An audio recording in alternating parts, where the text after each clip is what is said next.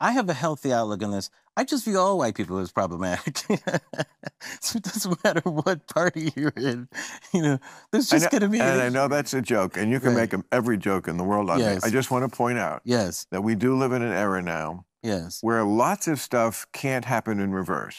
Yes. Like right. I can't make that joke about you.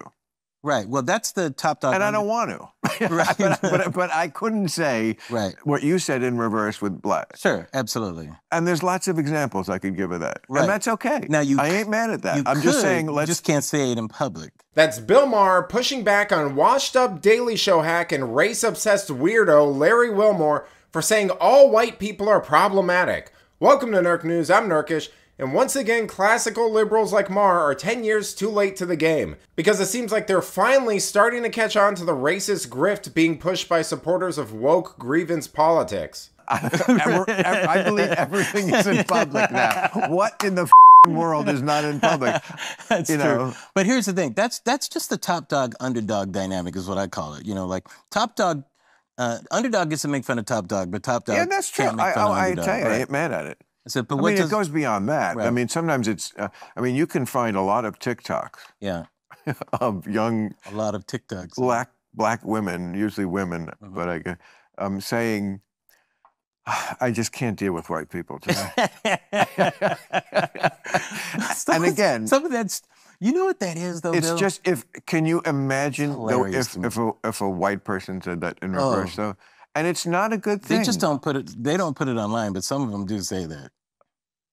But the fact that yeah. you make a TikTok out of it says yes. a lot. You have permission. You have cultural permission to do it. Right. Cultural permission. What right. a beautiful phrase. Right. But that isn't a health. That is not, to be serious, is not a healthy attitude.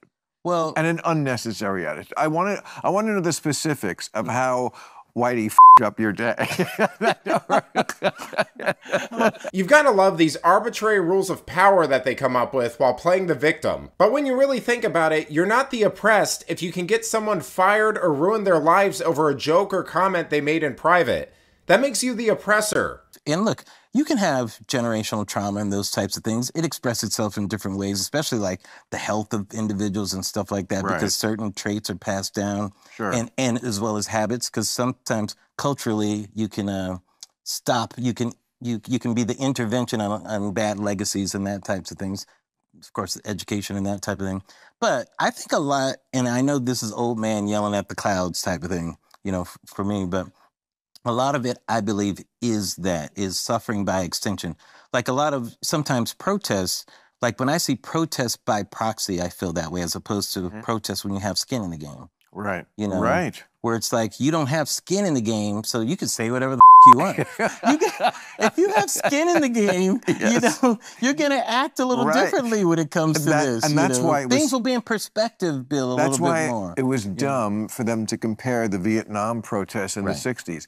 Those kids did have skin in the game. That's correct. They did not they want to go. get drafted go and to go to Vietnam. That's exactly that was a lot different. You know, the tragedy of Wilmore is like a lot of liberals. He used to be talented and worked on some genuinely good comedies in the 90s. That is until becoming corrupted by the influence of this race grift like some sort of progressive golem. I mean, all Bill did was slightly push back on it, and Wilmore starts rambling about this nebulous idea of generational trauma passed down through genes or something. Which is a little crazy considering that everyone's ancestors experienced some hardship or trauma. That's the nature of life. Yet you don't see people blaming their actions on distant relatives who were peasants during the bubonic plague or had their town pillaged by barbarians. I mean, if there's no agency and we're all acting out generational trauma, how can you really hold anyone accountable for anything? It kind of reminds me of that Thomas Sowell quote about how we're quickly reaching a point where no one is responsible for what they did, but we're all responsible for what someone else did, either in the present or the past.